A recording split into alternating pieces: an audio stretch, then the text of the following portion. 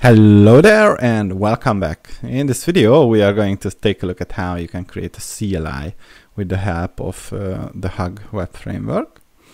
So let's say we import the Hug module and uh, we would like to create a CLI for which we pass an argument and returns the nth Fibonacci number. So first we need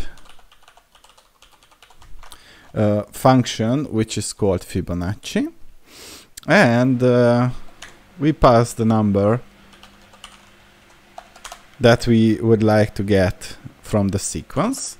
And if the number is in 0 and 1 we return the number.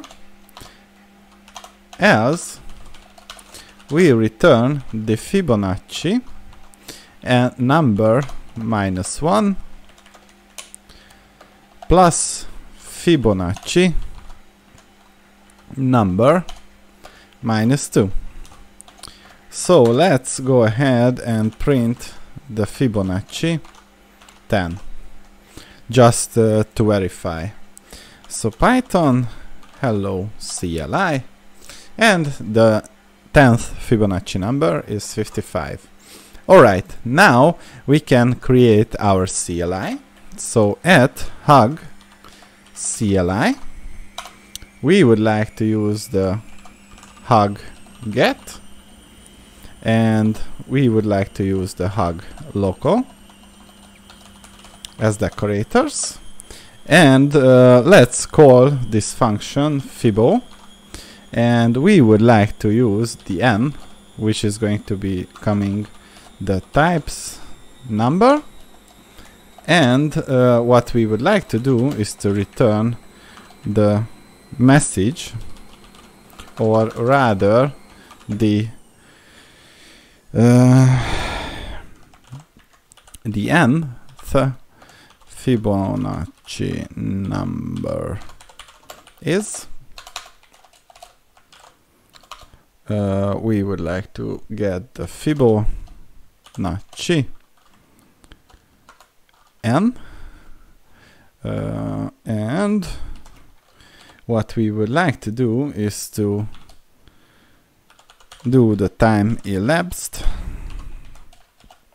float and we would like to pass the hug timer equals 3 hug timer so now, if everything goes well, what we can do is to create our if name equals main and use the fibo dot interface dot cli and how do we execute this?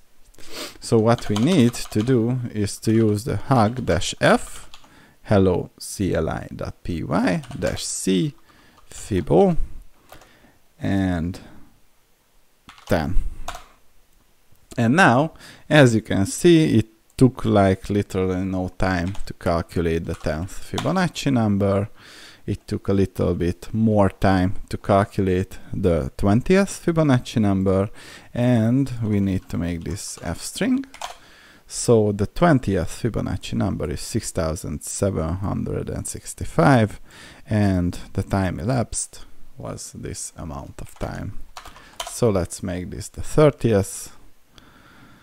It took a little bit more time. So that way uh, you can uh, basically create your CLI interface with the help of Hug. And that was all I wanted to show you in this video. See you in the next one.